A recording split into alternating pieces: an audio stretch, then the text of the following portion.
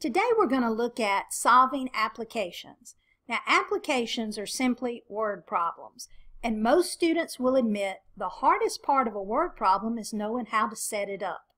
Well today I'm going to show you some linear models or some linear formulas and equations that you can use that will always help you with certain types of applications.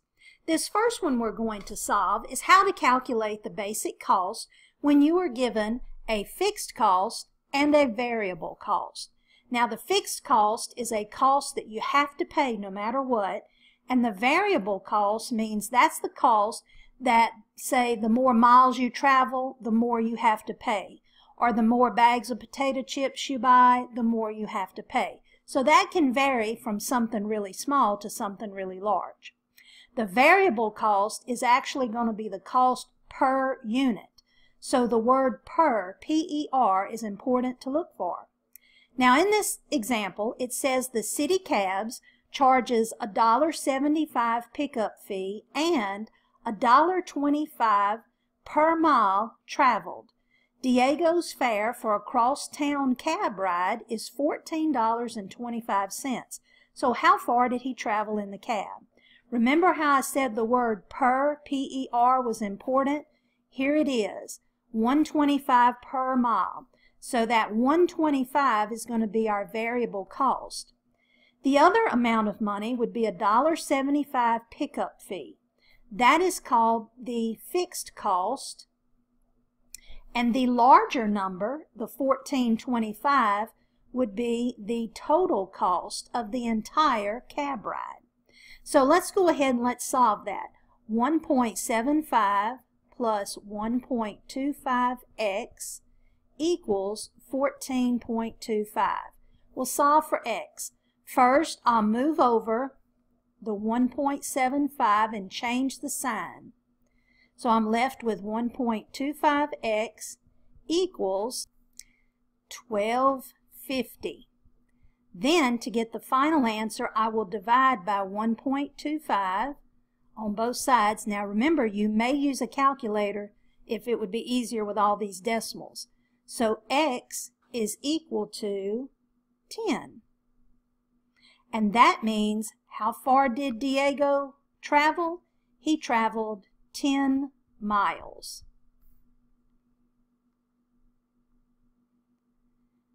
Now here's the example of another common question, a price increase or decrease. When you're dealing with an increase, use this first formula. You'll take 100%. That represents full price. If you're going to increase it, you're going to add a percentage of an increase times the X value, and that will be your selling price. However, if you're going to decrease a price, like a good sale, you'll have 100% minus the percent of decrease times the X equals the selling price. On this first problem, you will notice the word reduction that is underlined. A word like reduction means it is a decrease. So I will have 100% minus the 30% price reduction, X. And that will equal the purchase price of this computer, which is $840 and they want to know what's the computer's price before the reduction. That's the original price. Well, let's work this out. 100 minus 30 is 70. Now that's going to be a percent. We never leave a percent in an equation. We go ahead and change it to a decimal. So move the understood decimal point over two places. 70% then will be decimal 70, 0.70. Then we will divide by the 0.70 on both sides since it's the coefficient. And x will equal 1200. So what was the computer price before that sale, that reduction? It was $1,200. Now let's look at the second example. On this one, you have the word markup. So if it's markup, that means it's a price increase. So I have 100% plus. Now the percentage of increase is 10%. Then I will put the X, which represents the original cost or price, and that's going to equal our new selling price, which is $474.10. Now let's solve it. 100 plus 10 is 110%. Yes, something can cost more than 100%, theoretically speaking, because it's been marked up. Now remember, we convert the percentage to a decimal. So that would be 1.10x equals 474 and 10. Then I divide by the 1.10. Again, feel free to use a calculator if the decimals are tricky. And when I do that division, I will end up with 431. So what was the dealer's cost originally of that refrigerator? It was $431. Another common problem that we see in the college algebra class is a dual investment. This is when you take a pot of money and you're going to split it up two ways uh, into two different accounts. You'll normally be given an original amount of money, like here. You inherited $5,000, but the stipulation was you had to have the money invested two ways, in 9% and 11% annual interest. So my first interest rate would be 9%. My second interest rate would be 11%. How much did you invest at each rate if the total interest earned was 487? Now the interest will go back here where it says 487 in this formula. Now let's set it up. I have 9% times the x plus 11%. Now this one's interesting. This one is total investment minus x. Total investment is your total sum of money. So that would be 5,000, which was the original total amount, minus the x. And that equals the interest, 487. Now change both those percentages to a decimal. So move it over, that'd be 0.09x. Move that over, that'd be 0.11. 5,000 minus x equals 487. Let's see what we have. We have 0.09x. Now we're going to have to do the distributive property here. And so when we do the distributive property, we get 550. When we multiply that and then multiply that, we get a minus 0.11x. We need to combine the like terms that are on the same side. So positive 0.09 and negative 0.11. That will give me a negative 9, 10, 11, 0.02x. Then I need to move this 550 over. So remember, I'm going to subtract 550. So let me go up here. Negative 0.02x equals. Now I'll just take my calculator here. And let's see. 487 subtract 550 is a negative 63. I divide by negative 0.02. Decimals are a little bit tricky, so let's go ahead and I can divide that, divide by negative 0.02, and that gives me $3,150. Now that first answer goes with your first percentage rate. So the amount of money I had at 9% would have been $3,150. That's your first answer. To get the second answer, you need to take the original pot of money, 5000 subtract the 3150. Again, you can just use your calculator if you prefer.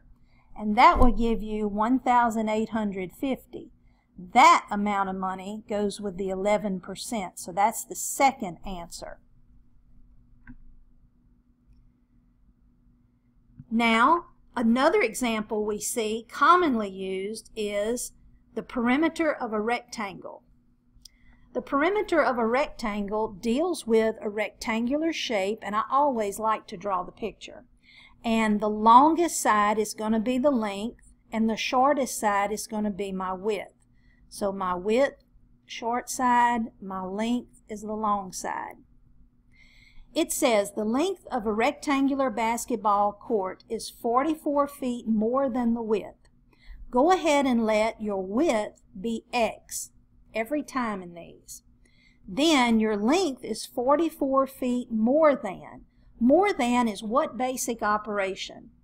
You're right. It's addition. So that's 44 plus x. Now the perimeter is 288. So we're going to put it in the formula. So twice the length would be twice 4, 4 plus x plus twice the width would be 2 times the x equals the perimeter. Again, this is the formula that's given at the top of the screen. That's an 8 and that's an 8. Now, let's go ahead and do the distributive property. 2 times 44 is 88 plus 2x plus 2x equals 288. Combine my like terms on the same side, so that's 88 plus 4x equals 288. Move that 88 over and change the sign. So that's going to give me 200 and then divide by 4. Divide by the coefficient. So x is equal to 50. Now remember x is only one dimension. x is going to be the width. So the width of this is 50 feet. That's one of your answer. To get the second answer, you have to take your 50 and plug it into the length. So 44 plus 50 equals 94. That's the second answer, which is the length.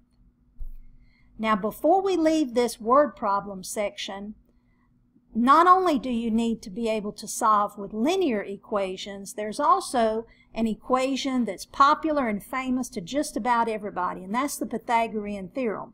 It's not linear because remember the exponent has to be 1 to be linear, but it is used a lot in upper level mathematics. So let's look at the Pythagorean theorem. Now the Pythagorean theorem is a squared plus b squared equals c squared. Now what that's referring to is in any right triangle with sides A and B and the diagonal, which is called the hypotenuse, is the C. So it can also be thought of as side squared plus side squared equals hypotenuse squared. Let's use it to solve this word problem. We have a rectangular park and it says it's 10 miles long, so the length is 10. It's five miles wide, so the shorter side is five. It says how long is a pedestrian route that runs diagonally across the park? If you're going diagonally, you will notice that that forms a right triangle, just like there in the Pythagorean theorem. So my A and B would be these two numbers. My C is the diagonal unknown. So when I do a squared plus b squared equals c squared, I will set that up as 10 squared plus 5 squared equals c squared. Now 10 squared is 100, 5 squared is 25, and c squared looks like that. So I have 125 is c squared. But I just want c. I don't want c squared.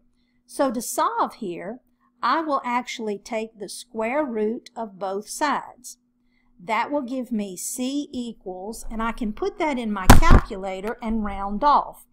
So remember to do the square root on the TI 30X calculator. You do the second button and then the x squared, and I put in 125. That will give me 11.18033. Now I want to round that off to the nearest tenth. So that would just be like this. Notice that there's an 8 behind that 1, so I'm going to round that up. If it's 5 or above, round it up. So that would be 11.2 miles long. But that's not the only answer. We also want that answer in radical form. So let me go down here and get a little scratch paper. Okay, a little more room. If you recall to take the square root of 125, what I can do is divide that number by a perfect square if it's not a perfect square itself. If you think about the perfect squares, 25 is a perfect square And 125 divided by 25 is 5. So I can actually break down that 125 as 25 times 5. Now if I take the square root of 25, it's 5, and the other 5 stays under the radical. My second answer then, in radical form, is going to be 5 square root of 5. So there will normally be two different ways you can give the answer in a Pythagorean theorem problem. Hopefully these linear uh, formulas and the Pythagorean theorem will help you a lot as you encounter word problems.